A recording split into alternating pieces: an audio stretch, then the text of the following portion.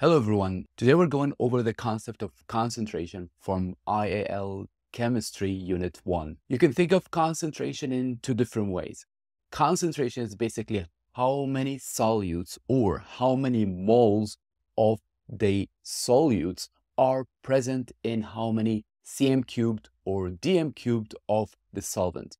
You can always make things more concentrated if you increase the number of moles of the solute, or if you decrease the amount of solvent. So you can see here the cup of tea is getting more concentrated simply because I reduced the amount of the solvent.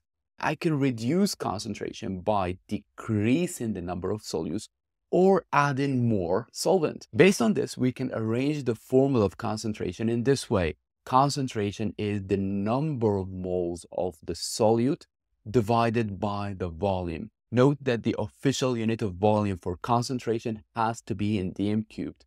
And you'll notice that many exam questions, they give you the volume in cm cubed. So all you have to do is to divide those cm cubed by a thousand. So you get the unit of concentration in moles per dm cubed. There's another way to find concentration, especially if it was very small. I'm talking here about few millimoles in large volume. So think, for example, if you add in a pinch of salt into a large swimming pool.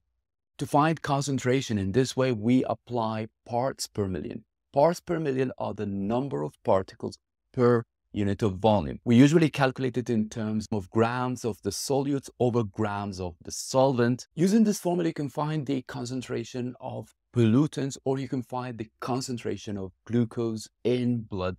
In this example, I'm finding the concentration in parts per million for magnesium ions.